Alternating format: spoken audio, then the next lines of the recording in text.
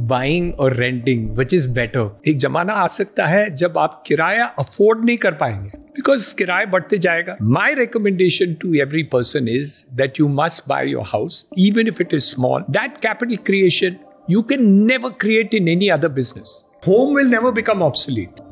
a home is a home it's a need so this industry will never die you can be rest assured that if you are in the food business If you are in the clothing business or you are in this, and you understand the ropes of that business, you can never lose out.